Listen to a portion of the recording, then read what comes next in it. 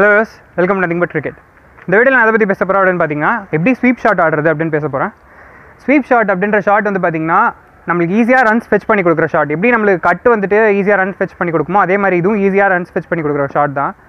கட்டை விட இந்த ஷாட்டில் நிறையா நிறையா நிறையா உங்களுக்கு வந்துட்டு டேஞ்சர் இருக்குது.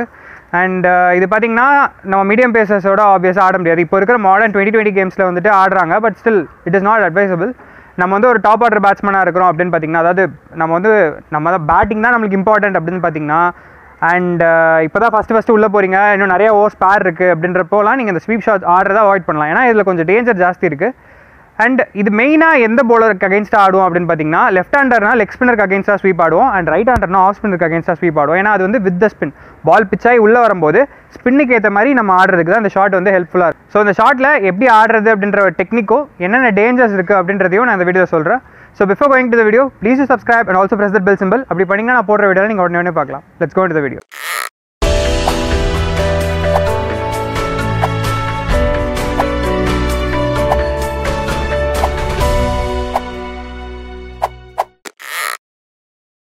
so first sweep shot வந்து எந்த லென்த்லேருந்து நம்ம ஆடணும் அப்படின்றத சொல்லிடுறேன். இப்போ நார்மலாக பார்த்தீங்கன்னா குட் லென்த் வந்துட்டு நம்ம ஸ்ட்ரெச் பண்ணிவிட்டு ஒரு ஆர்க் போட்டோன்னா அதான் குட் லென்த் இதுக்கு இந்த ரீஜனில் விழுறதெல்லாம் குட் லென்த்து நம்ம அதை வந்து டிஃபென்ஸ் தான் ஆடுவோம்.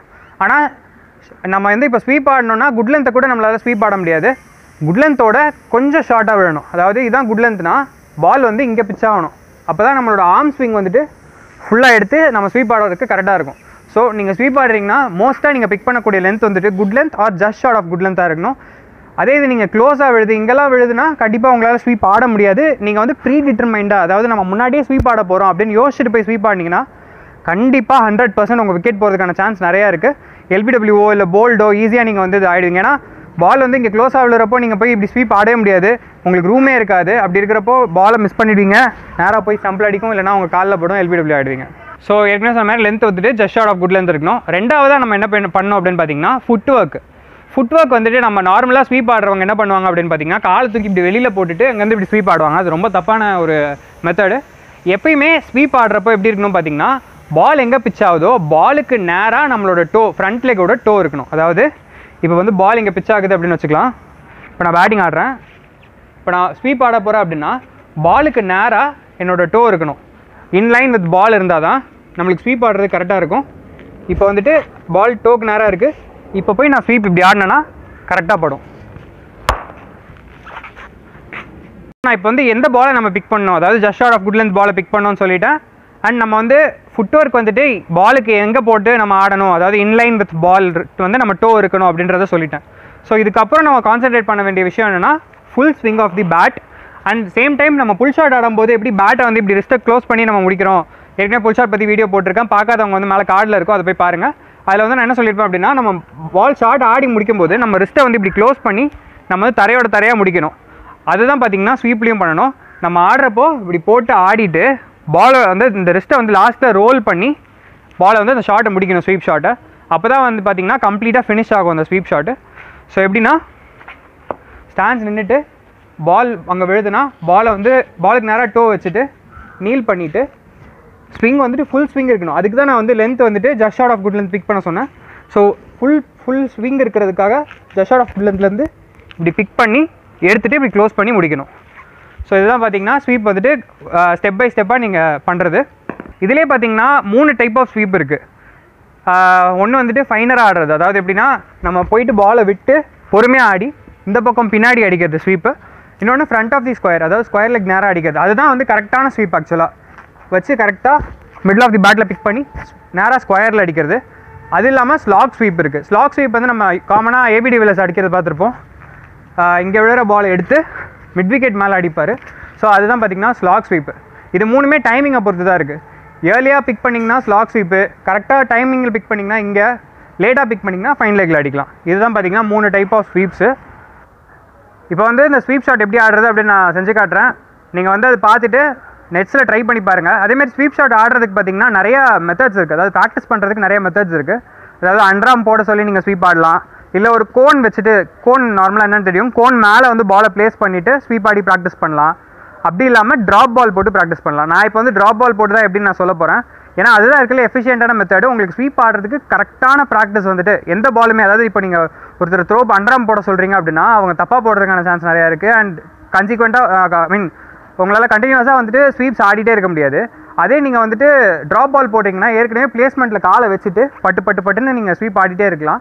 ஸோ அதனால் எப்போவுமே வந்து ட்ராப் பால் ப்ரிஃபர் பண்ணுங்கள் அதுதான் வந்து உங்களுக்கு ஸ்வீப் ப்ராக்டிஸ்க்கு வந்துட்டு அது ரொம்ப ஹெல்ப்ஃபுல்லாக இருக்கும்.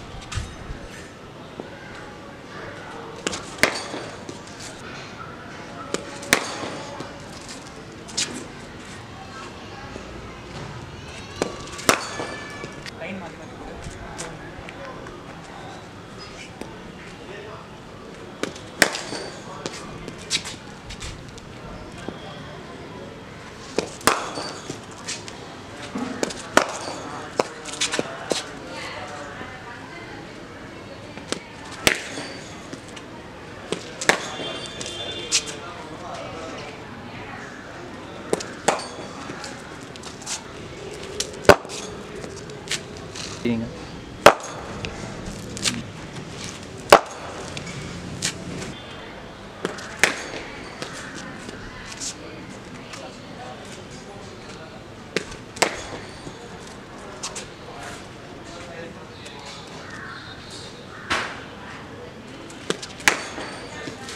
ஸோ இப்போ இந்த ஸ்வீப் ஷாட்ஸில் இருக்கிற டேஞ்சர்லாம் என்னென்னு சொல்கிறேன் இப்போ நார்மலாக நீங்கள் ஸ்வீப் ஆடுறீங்க அப்படின்னா ஏற்கனவே சொன்ன மாதிரி லென்த்து கிட்ட பிக் பண்ணவே கூடாது. எல்பிடபிள்யூ ஆகும். அதனால் ப்ரீ டிட்டர்மைண்டாக ஸ்வீப் ஆடாதீங்க. ஸ்வீப் வந்து ஸ்வீப்புக்கான பால் இருந்ததுன்னா மட்டும் நீங்கள் ஸ்வீப் ஆடுங்க. ரெண்டாவதாக என்னன்னா லெக் ஸ்பின்னர் போட்டால் அவாய்ட் பண்ணுங்கள் ஸ்வீப் ஷாட் ஆடுறது. ஏன்னா லெக் ஸ்பின்னரோ இல்லை லெஃப்ட் ஆம் ஆர்த்தடாக்ஸ் போலரோ போடும்போது பால் வந்து பிச்சாக இப்படி போகும். நீங்கள் அப்போ போய் கிராஸ் பேட்டில் ஸ்வீப் ஆடினீங்கன்னா டாப் எட்ஜ் ஆகிறதுக்கான சான்ஸ் நிறையா இருக்குது ஸோ அதை அவாய்ட் பண்ண ட்ரை பண்ணுங்க. அதுக்கப்புறம் டெலிபரேட்டாக நம்ம வந்து பின்னாடி ஃபைனராக ஆடணும் அப்படின்னு அவுட் சைட் ஆஃப் ஸ்டம்ப்லேருந்து பிக் பண்ணுறீங்கன்னா நம்ம டெலிபரேட்டாக ஃபைனராக ஆடணும் அப்படின்னு ட்ரை பண்ணக்கூடாது. அப்போ வந்து ரொம்ப கஷ்டப்படுவீங்க. மேக்ஸிமம் வந்துட்டு நம்ம ஸ்கொயர்லேயே வந்துட்டு ஸ்வீப் ஆட ட்ரை பண்ணுங்கள் இல்லை ஸ்லாக் ஸ்வீப் கூட ஆடலாம். ஸ்லாக் அதாவது நீங்கள் ஃபைனல் ஓவர்ஸில் இருக்கிறீங்கன்னா ஸ்லாக் ஸ்வீப் கூட ட்ரை பண்ணலாம். அது கூட ஈஸியாக இருக்கும். பட் ஃபைனலாக ஆடும்போது மட்டும் கொஞ்சம் ஜா ஜாகிரதையாக நீங்கள் ஆடணும். ஸோ தேங்க்ஸ் ஃபார் வாட்சிங் த வீடியோ எப்படி ஸ்வீப் ஆடுறது அப்படின்னு உங்களுக்கு இப்போ புரிஞ்சிருக்கும். அண்ட் இது வந்து பார்த்தீங்கன்னா ஏற்கனவே சொன்ன மாதிரி டேஞ்சரஸான ஷாட்டு நீங்கள் வந்து டாப் ஆர்டர் போகிறீங்க அப்படின்னா அவாய்ட் பண்ண ட்ரை பண்ணுங்கள் தேவைப்பட்டால் மட்டும் ஆடுங்க. இது மெயினாக வந்துட்டு நம்ம வந்து ஸ்பின்னர்ஸோட லைனை கலைக்கிறதுக்கு இந்த ஷாட் யூஸ் ஆகும். அது மெயினாக ஆஃப் ஸ்பின்னர்ஸ் நல்லா ஆஃப் சைடில் போட்டு நல்லா டேர்ன் பண்ணிகிட்டே இருக்காங்க. உங்களால் எதுவும் ஆட முடியல அப்படின்றப்போ குட்லன்ஸில் போடுற பால் நீங்கள் ஸ்வீப் ஆடினீங்கன்னா ஒரு ரெண்டு ரெண்டு ரன் இல்லை பவுண்டரி கூட கிடைக்க சான்ஸ் இருக்குது அப்போ உடனே அவங்க லைனை சேஞ்ச் பண்ண ட்ரை பண்ணுவாங்க. ஸோ நீங்கள் எங்கேருந்து பிக் பண்ணீங்கன்றது ஒரு மேட்ரே கிடையாது. அவுட் சைட் ஸ்டம்ப்லேருந்து பிக் பண்ணலாம். மிடிலேருந்து பிக் பண்ணலாம். இல்லை அவுட் சைட் எக்ஸ்டம்லேருந்து பிக் பண்ணலாம். ஆனால் எங்கேருந்து பிக் பண்ணாலும் பால் பிச் ஆகிறதுக்கு நேராக டோவை வச்சு நீங்கள் ஸ்வீப் ஆடினீங்கன்னா எந்த ப்ராப்ளமும் வராது. அண்ட் கரெக்டாக லென்த்தும் பார்த்தீங்கன்னா குட் லென்த்லேருந்து பிக் பண்ணுங்கள் எந்த ப்ராப்ளமும் வராது. So before leaving please subscribe and also press that bell symbol and நிறைய பேருக்கு ஷேர் பண்ணுங்கள் வீடியோவை. அண்ட் உங்கள் ஃப்ரெண்ட்ஸுக்கெலாம் ஷேர் பண்ணிங்கன்னா அவங்களும் ஸ்வீப் எப்படி ஆடுறதுன்னு கற்றுப்பாங்க ஸோ தேங்க்ஸ் ஃபார் வாட்சிங் கீப் சப்போர்ட்டிங்